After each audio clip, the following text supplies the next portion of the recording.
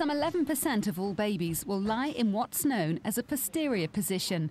That is, with the baby's back lying against its mother's back, with its head down in the pelvis. More babies will be found lying to the right side rather than the left. I'm just trying to feel whether that's the back I can feel or. Sally is seven days overdue, and her midwife, Aida, has arrived to give her a checkup. Sally's baby is lying in a posterior position, and Sally has some concerns about this. Have you got any views about it being posterior? Yes, I'm trying to be very Yeah. relaxed about it.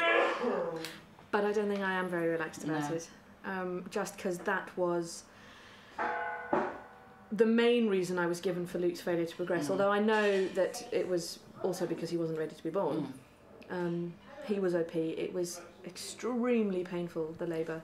It's preferable for a baby to lie in an anterior position, with the baby's back on the outer wall of the uterus, as when the woman goes into labour, it appears to be less painful and shorter, although that can't be guaranteed.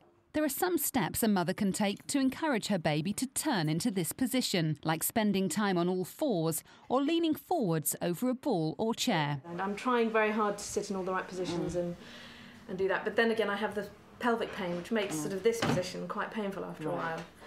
Um, so yes, I'm, I'm vaguely worried about it.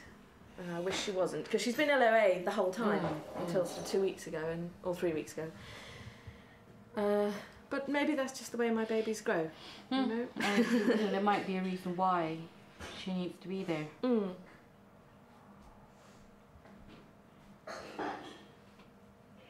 I was a little concerned, as I said, because I, I feel that there's very little room for her to move anymore. It feels very tight and very hard. Mm. Um, so I'm only concerned that she won't be able to move around again Mm.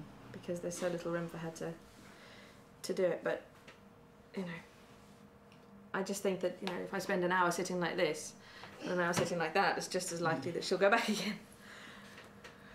If the re- baby's going to stay that way, Yeah. it will stay that way, and you, there's nothing you can do to actually stop No. it.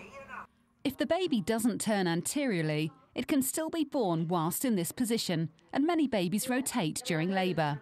Tell me where the baby's lying now. Baby's lying on the left.